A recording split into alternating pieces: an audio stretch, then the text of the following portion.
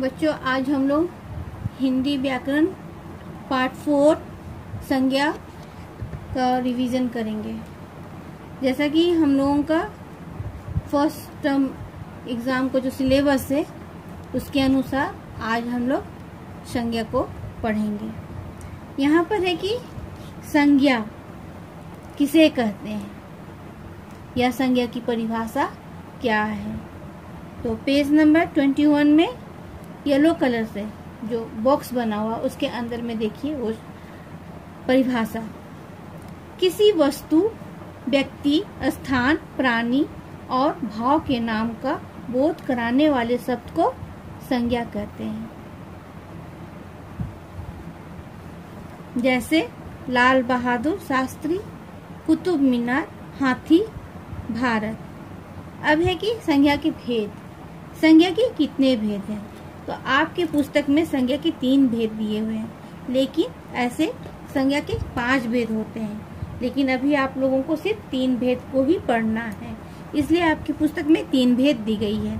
पहला है व्यक्तिवाचक संज्ञा, दूसरा है जातिवाचक संज्ञा, तीसरा है भाववाचक संज्ञा। अब हम लोग व्यक्तिवाचक संज्ञा को देखेंगे। जिस शब्द से किसी विशेष व्यक्ति, वस्तु और स्थान का बोध होता है, उसे व्यक्तिवाचक संज्ञा कहते हैं। विशेष व्यक्ति, वस्तु और स्थान का जो बोध होता है, उसे व्यक्तिवाचक संज्ञा कहते हैं। जैसे लता मंगेशकर, कलश एफिल टावर। ये हो गया आपका व्यक्ति हो गया, वस्तु हो गया और ये स्थान हो गया। यहाँ पर आपके पाठ में कुछ अन्य व्यक्तिवाचक संज्ञाएँ दी गई हैं।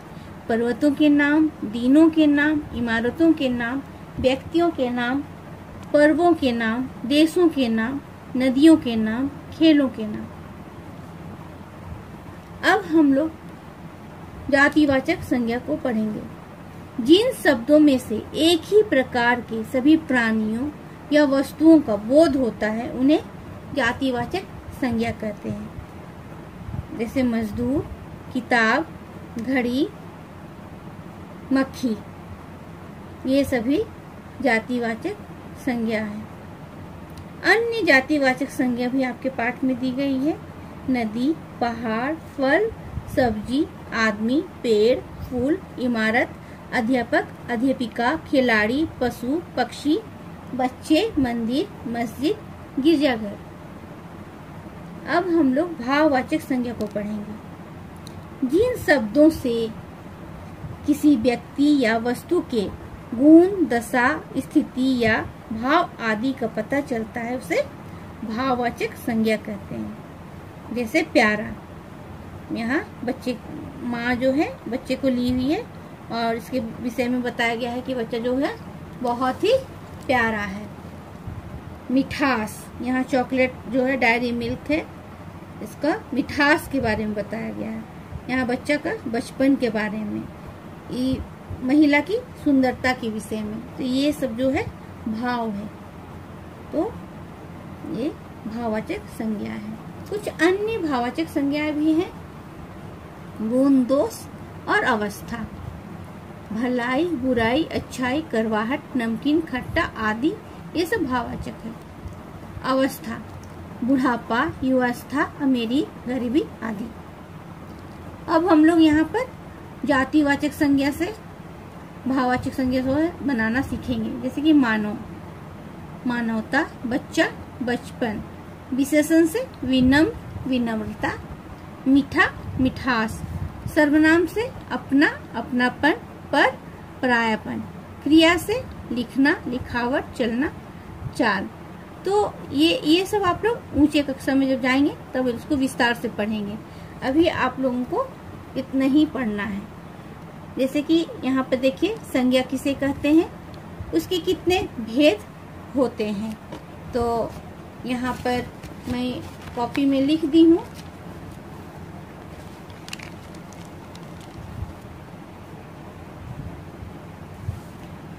संज्ञा किसे कहते हैं? किसी वस्तु, व्यक्ति, स्थान, प्राणी और भाव के नाम को बोध कराने वाले शब्द जो है, संज्ञा कहलाते हैं। जैसे लाल बहादुर शास्त्री कुतुब मीनार हाथी, भारत। संज्ञा के भेद। यहाँ पर मैं दी हूँ, संज्ञा के पाँच भेद होते हैं।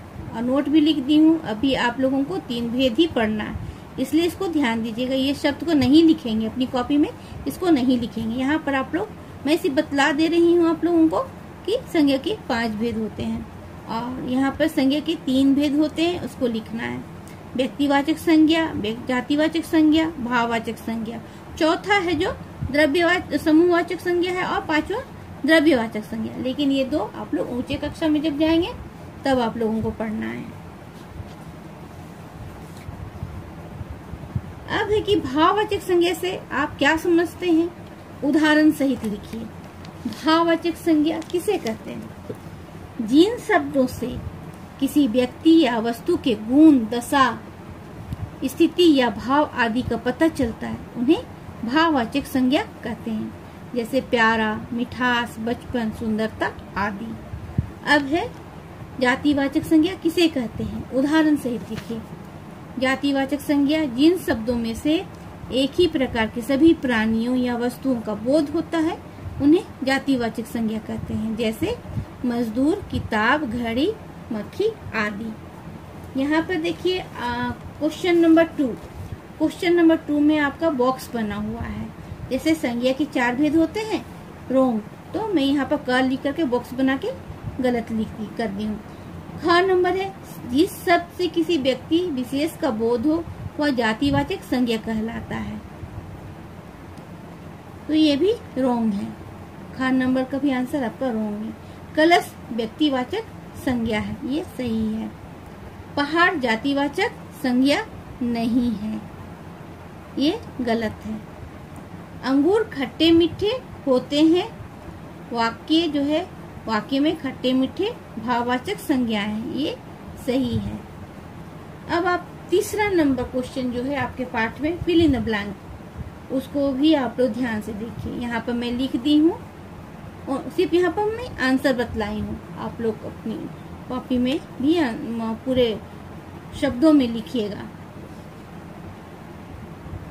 का नंबर है, हिंदी हमारी राष्ट्रभाषा मानी जाती है। खा नंबर, कठिन परिश्रम से सफलता अवश्य मिलती है।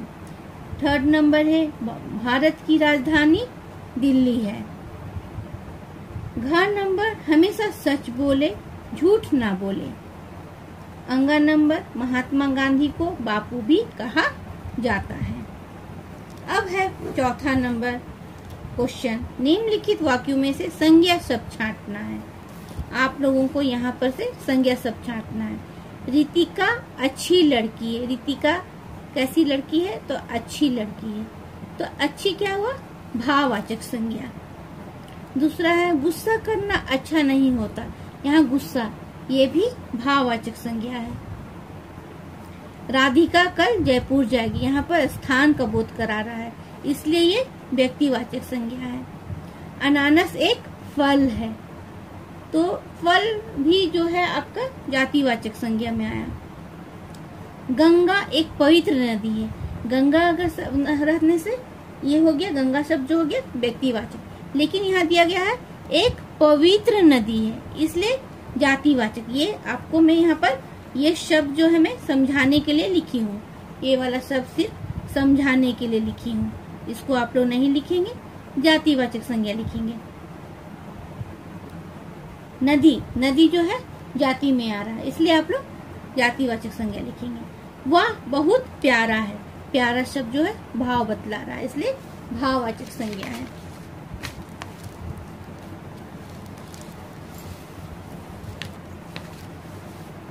निम्नलिखित